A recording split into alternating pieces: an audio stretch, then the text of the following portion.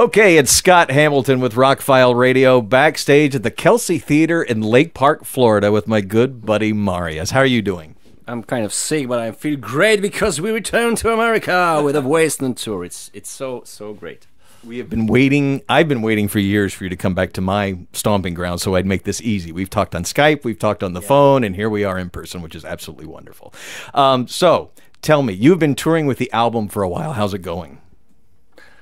Fantastic. I'm in America, so I should say absolutely fantastic. No, but seriously, uh, it's one of our best tours, maybe because of the fact that we are not in grief anymore. We started new chapter, and we are the, with the new lineup. We feel really, really great, and so uh, yeah, basically, it's it's it's going so far. This is one of our best tours. Maybe also because we finally uh, prepared a normal proper set list you know with with some songs that you can sing together and, and, and entertain with the band with the audience so it's it's pretty amazing because you have enough of a catalog now that you can kind of pick the the, the, the, the crowd response songs like that's very true yeah so you kicked off last night in Atlanta. It was an intimate little show, and this is kind of preparing for RoSfest tomorrow night, right? Are you looking forward to being in front of like prog hungry fans? Yeah, you know this prog thing. It's just like always the buzz in my head because I'm, I'm kind of, uh, I don't want to, you know, wave the flag with right. the name prog. I just think that prog these days it's pretty uh, unprogressive music. Mm-hmm. So I'm trying to be, let's say, more alter- alternative uh, in sort of way. I do hope that Wasteland sounds like uh, we try to push some boundaries and everything. Of course, from the wider perspective, it's kind of pro- progressive. So I, I, I would love to have that kind of stuff, but I'm not kind of into prog in this let's say uh, just because it's named prog yeah yeah but you know, i'm trying to fight with that in sort of way but i know that we have a prog community. People love us people who listen to that kind of music. So i can't say like like i'm denying this. This is something wrong. No it's not but uh, we uh, changed a bit and we prepared our, uh, as I said before, set list, our songs for uh, not strict uh, prog audience, just for everybody, you know. So we, we also want to be that kind of band. So, but anyway, I'm I'm happy that we can return to these strict prog uh, venues because that's a challenge for us, you know, yeah. to to convince people with a different kind of music than just playing only, you know, Second Life Syndrome song. You know what I mean? Well, for me, when I started Rockfile Radio, the first station, I called it prog rock because I wasn't trying to make a prog station either. My definition of prog these days is music that is maybe too complicated for mainstream radio. Mainstream radio has a certain sound, whether it's Five Finger Death Punch or Godsmack or Disturbed or whatever, but it's a certain, you know, and and things that have too many chords, things that have too many changes, too many weird things, too long. There's there's so many this doesn't fit that format. So I use a very broad term of prog because you guys to me are a great rock band. It, I described somebody last night. They were asking me, "What does Riverside sound like?" I said, "I don't know. If the guys in Pink Floyd were actually Polish and got together in the 21st century and decided they wanted to make something interesting, it would kind of sound like this. There's, you know, there's some metal in there. There's some ethereal acoustic stuff in there. There, you know, Riverside. We were talking about the name up here. Riverside conjures up a certain image now in the beginning, I was like, that's the name of a town, that's the name of whatever. But now I get this, I don't know, I kind of see the Wasteland video when I hear your name. Did you have that kind of idea when you named the band? No, we had a, the river, you know, right. in our minds when we uh, started to think about the name of the band because it flows, it changes. And uh, that's what's going on with our music, I think. But anyway, I, I, I just still believe that uh, at the very beginning, I remember that I called Riverside just sadness, whisper, scream, and joy. Everything's fine beside joy, probably, but uh, that's our joy is on the Love Fear the Time Machine. You know, our the most joyful album. So for many people, it's the, the saddest music that they've ever listened to. But anyway, but I, I just think that um, Riverside um, uh, found our style, it, its style. Um, actually, we we found it maybe at the very beginning, but we always had a problem with uh, you know being labeled by uh, people as uh, Polish version of uh, some other bands, right. We've been Porcupine Tree, we've been uh, Dream Theater after the tour, which is bizarre for me, but Because you don't really sound like those bands. I, I, I know lots of people just think that we are sort of like Dream Theater band because we've been touring together, but it's not true. Guys, this is not true. We do not sound like Dream Theater. But anyway, uh, after songs, uh, some other people started to just talk that we are just Polish Deep Purple because of Hammond organ. Jesus Christ! But but I but I think that on Wasteland we proved that we found something and uh, we marked this on this album because we always had something unique.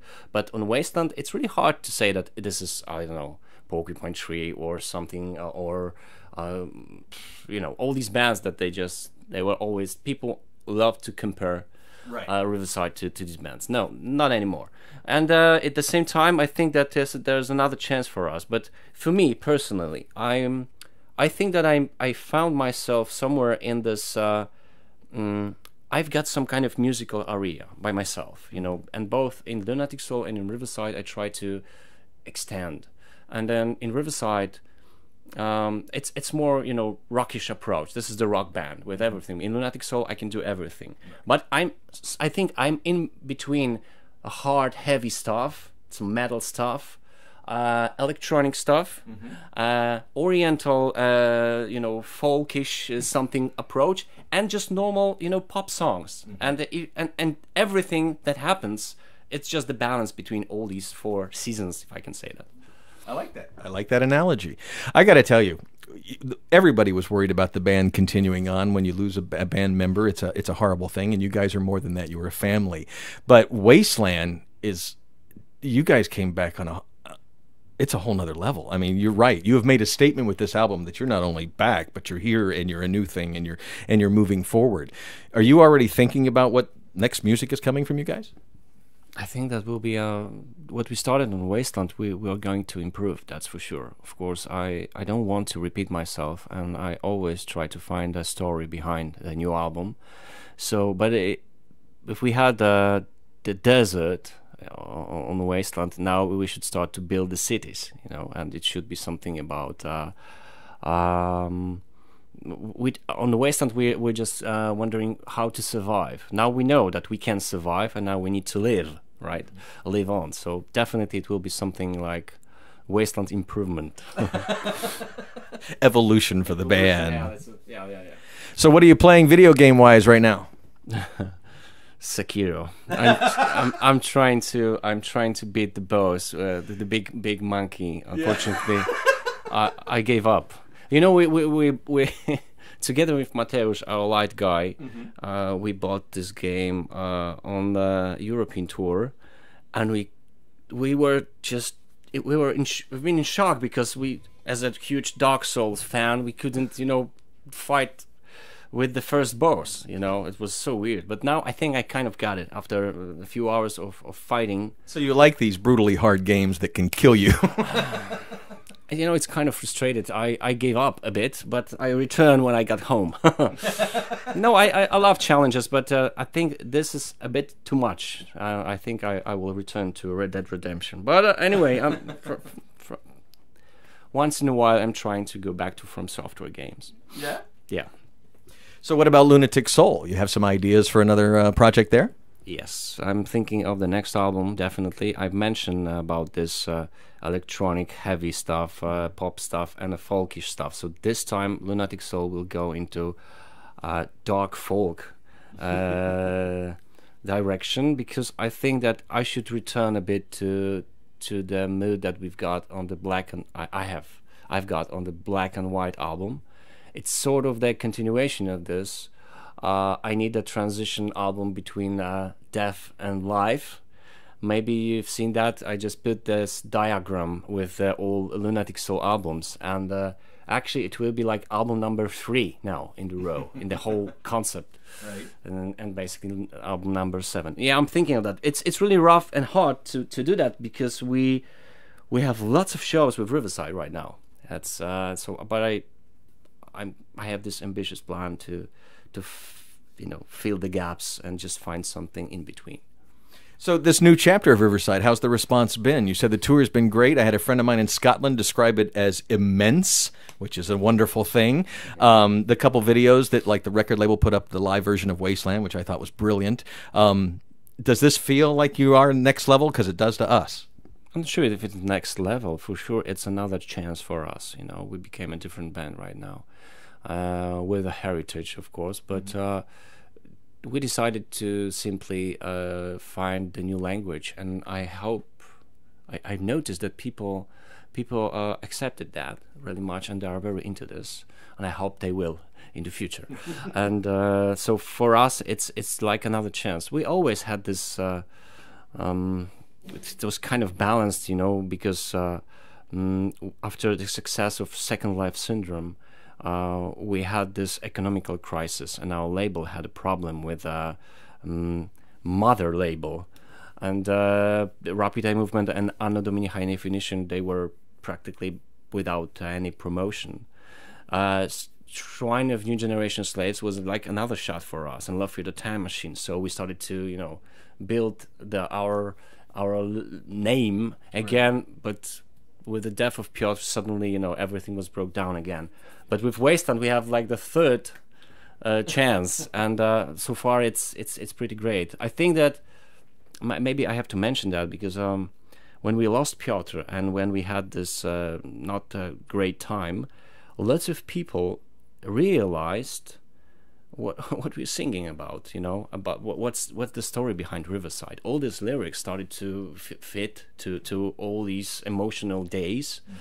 and I think that it sort of convinced them to to our music, and uh, people started to look at our music from a different perspective. Maybe that's why lots of people finally. Uh, trust us or believed us you know that okay that's that's a different kind of band that i thought they are. And um, I, I, we've noticed that. We've noticed that change, and we also noticed that uh, there's lots of people because I was afraid that after death of Piotr, lots of people would say, "Okay, this is not my band anymore." But that's true. They, no. we've got much more people because they, they, they want us to, to carry on. So that's that's really beautiful. And I, I would love to thank you from this place to everybody uh, for for such a huge amount of support that we that we've got. We're so glad to. We, like I said, we were very thankful that you guys didn't go away. No, I'm, actually, I'm grateful too. So, um, what do you plan to do while you're here in the States? I'm sure you have some off days. Is there anything you want to see? Have you seen the new Avengers movie? I mean, what's going on? I've seen before before the trip, yeah. Okay, good. So, so. he hasn't seen it yet, so we're not doing any spoilers tonight. So he doesn't know that. Okay. no, I'm, you know. How did you enjoy it? I enjoy that very much. You yeah, know, that that's a that's a different level. You know, I think that's those those two Avengers. You know, the, the, this one and the, the, the one before. It it it showed that uh, these superheroes are really connected with uh, you know human emotions. So yeah. which we it's not flat anymore maybe but anyway um, well you've we, talked you've talked about before that video games have kind of worked their way into some of your songwriting do movies also work their way in course, you know, I always try to find something deep, you know, uh, that. I, I know that for many people it would be nice if I, for instance, if I be inspired only by Ingmar Bergman movies, uh, but I, it just is just like Riverside music. I, I prefer to find a balance between something which is something ambitious and uh, that people can simply understand. You know, uh, I'm the zodiac Libra, so I always try to find a good balance and the same I, I adore uh, all these uh, movies uh, shooted by directors you know those artistic directors if i can say and the same like blockbusters. I'm enjoying this very much. The same is with the music you know. I i, I adore weird ambient shit if i can say that word. And and uh, and uh, something you know like normal songs right from 80s so it's it's it's perfect for me. And um, the same is with video games. For many people it sounds like it's something flat for the inspirations or shallow but for me not at all. I can find something interesting, especially if it, if it comes to uh, I don't know, some Japanese horror games. I really adore this uh, atmosphere and mood, and it helped me to create my own dark music. so, see, there you go. We learned something new today. Yeah, and and this is funny because I've noticed that I'm probably only one who's just admitted that uh, out loud, and you also admitted out loud that you're just you know the games, uh, the blockbusters, movies, and the video games are equal as some other artistic you know things. So uh, this is the life we live in. So I, I, I'm okay with that, definitely. I was to say, I found myself in, in my adult career as gravitating towards things that are art, things that make me feel things, whether it's good, bad, indifferent. Uh, I found beautiful things in some sad stuff. I've and I've laughed my butt off, uh, you know, and I'm, I'm energized by rock shows. It, uh, I don't know. I just like hanging out with art. It's all art to me, and even if it's popular, uh, pop culture is a big thing now. Nostalgia is a thing now. I don't know how it is in the rest of the world, but here in America, nostalgia. All our radio stations are going that way. Everywhere you go, you just hear '80s and '90s music. It, it, as an artist, is that in your mind to, to, to fight that? I totally agree. You know, it's just like for me, the biggest challenge is to create something that can be uh, you know, both all these uh, weird critics can be excited about, and normal people who just listen to I don't if I can say that normal music, you know, and uh, of course I'm not trying to push the boundaries. I I I, I still want to have it in this.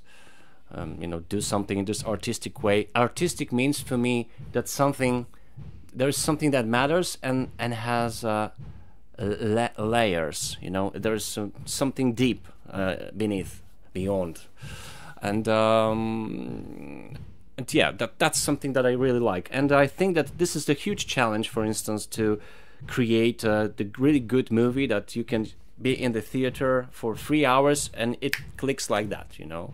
And you escape. You don't think about anything else, and, and they tell same, you a story. Exactly. And the same is with the music. There are some albums like they they have there are like I don't know 50 or 60 or 70 minutes and goes like this. And there are like 35 pieces of music that you listen to this and it's and you're just checking the your watch all the time because it's so artistically brave and amazing and all these critics from pitchfork just saying that this is the best album of the year but it's unlistenable. You know, it's or it just doesn't connect with you. That's true. Yeah. So uh, the same is with with some movies. You know, but uh, yeah. Yeah, there's been movies that have gotten great reviews that didn't connect with me, and there's some that got 20% on Rotten Tomatoes that I have in my collection that I love. It's just, you know, there's probably some pretty bad bands I like too, but that's what it's all about. Well, thank you so much for taking the time. I know you're on a schedule. This is only the second date of the tour, but man, it's so good to see you in person again and talk to you. Uh, you want to say anything else to everybody? I didn't answer your question. One oh. uh, because you, you, just asked me uh, if I want to see something on this tour. I definitely want to see something and experience something new because this is our the biggest tour uh, in US uh, so far, and uh, I'm kind of happy that uh, I already experienced something new. Love bugs. Uh, Welcome to Florida. yeah, on the Florida, if you should see the, the, the front of our nightliner when we just came here, it was I, I took lots of pictures. Uh, but I also read about love bugs, and it's kind of interesting, you know. These guys are together until the end of their days. It's sort of I, I, hear a song. yeah, exactly. So it's pretty romantic, if I can say that. So yeah, I'm happy. That that's a new experience for me, definitely. Okay. Well, I'm sure you'll have some others on your tr- travels around the country. How long does this tour go for? Uh, I, it, I don't know. It's just like we've been, we have like 24 shows, so 22 left, 23, including this one. Catch Riverside on tour. Visit their website, buy the tickets, come see them, come buy the merch, and support this band. We're so happy they're back. Mariusz, thank you. Thank you so much.